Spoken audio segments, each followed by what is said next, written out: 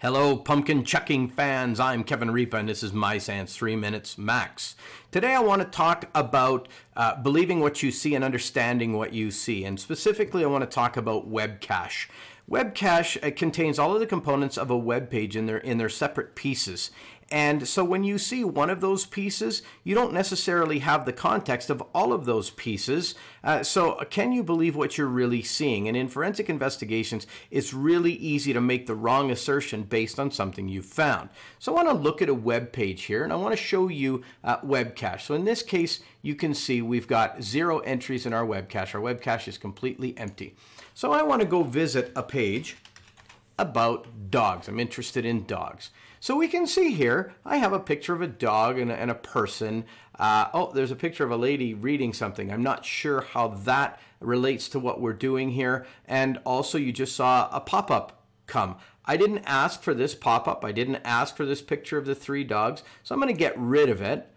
Now, I have not interacted with this page in any way other than to close that ad. Now let's go back to our uh, uh, cache and let's update it. We now have 217 entries just from visiting that one page and doing nothing other than closing a pop-up ad. So what else do we see in there? Let's go and look at all of the individual components.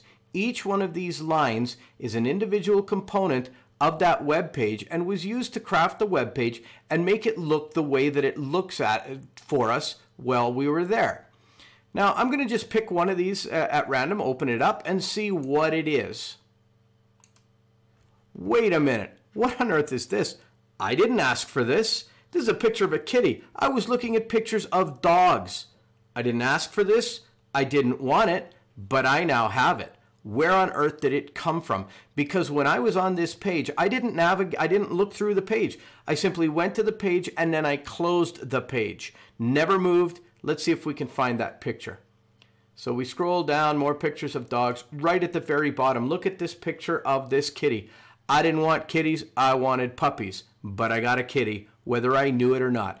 That picture is now on my hard drive to be found by anybody who does that kind of work if you find that picture, you've got to contextualize it because just because it's there doesn't mean the person knew it was there.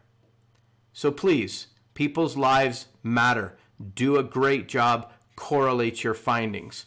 In the meantime, and in between time, that's it. Another episode of 3 Minutes Max.